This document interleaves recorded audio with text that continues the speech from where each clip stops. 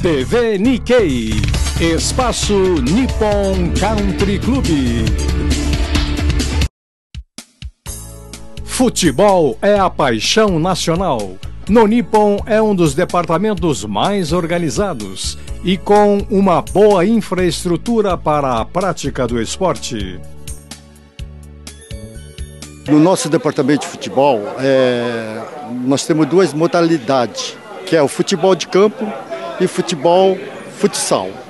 No futebol de campo, a gente tem dois campos oficiais com arquibancadas, dois vestiários cada um. E nós temos dois campos society, né?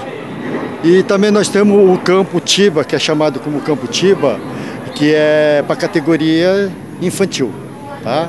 tá? E nós temos também o nosso nosso quiosque do futebol, que nós recebemos todos associados para o almoço, né, de todos os domingos. A nossa secretaria, tá? Temos duas lanchonetes aqui, tá? E também nós temos o nosso o quiosque do futsal, tá? Agora, o, o, a quadra de futsal é tudo completo. Nós temos um painel eletrônico com arquibancada, tudo, tudo para atender a necessidade dos associados, tá? O calendário do Departamento de Futebol do Nippon é muito intenso. São centenas de praticantes e mais de 40 equipes nas várias modalidades do futebol. A gente realiza já há alguns anos, né? São dois campeonatos principais de futebol de campo e o primeiro inicia-se em fevereiro, mais ou menos, vai até o mês de junho. E o segundo inicia-se a partir de setembro e vai até o final de ano. Né?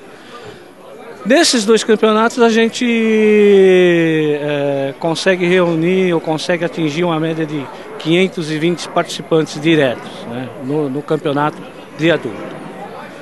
Uh, fora isso, nós temos também a participação no, no ginásio, né? No ginásio poliesportivo do pessoal lá do feminino, né? A categoria feminina e a categoria menores, né? Que no total ali cerca de 150 participantes diretos dos campeonatos internos de futsal e futebol society ali do, da, da, categoria menor, no caso. Né? Não é preciso ser Neymar para jogar futebol no Nippon. É preciso apenas disposição e gostar de churrasco e cervejinha com os amigos e família.